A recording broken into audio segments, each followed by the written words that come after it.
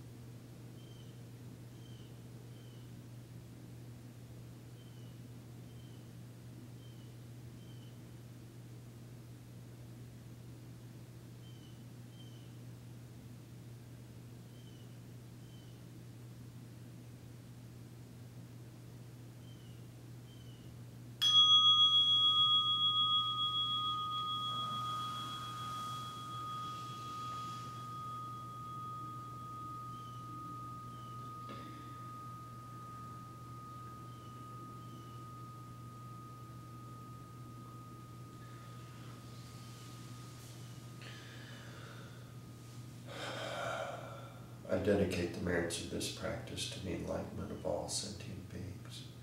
May God bless us